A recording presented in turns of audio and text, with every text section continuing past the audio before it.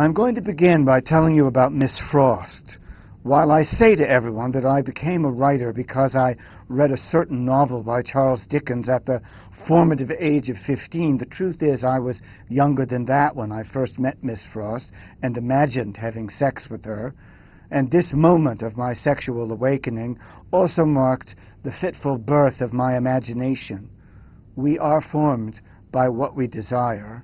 In less than a minute of excited, secretive longing, I desired to become a writer and to have sex with Miss Frost, not necessarily in that order. I met Miss Frost in a library. This was the public library in the small town of First Sister, Vermont, a compact red brick building on the same street where my grandmother and grandfather lived. I grew up in their house on River Street until I was 15 when my mom remarried.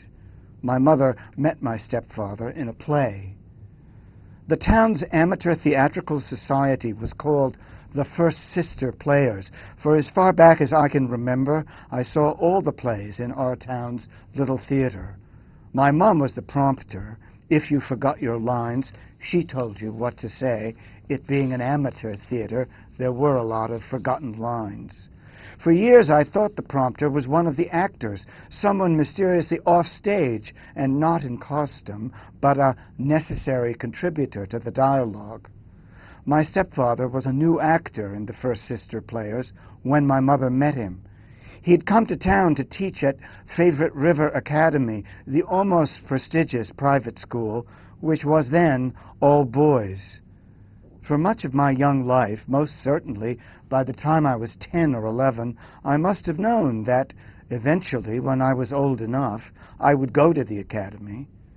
There was a more modern and better lit library at the prep school, but the public library in the town of First Sister was my first library, and the librarian there was my first librarian. Needless to say, Miss Frost was a more memorable experience than the library. Inexcusably, it was long after meeting her that I learned the librarian's first name. Everyone called her Miss Frost, and she seemed to me to be my mum's age or a little younger when I belatedly got my first library card and met her.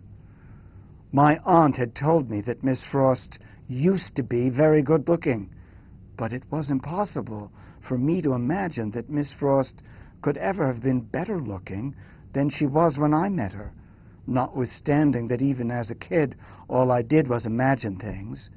My aunt claimed that the available men in the town used to fall all over themselves when they met Miss Frost.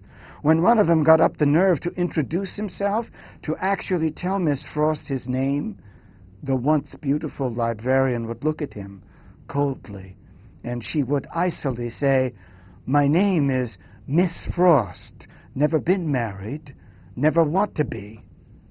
With that attitude, Miss Frost was still unmarried when I met her. Inconceivably to me, the available men in the town of First Sister had long stopped introducing themselves to her.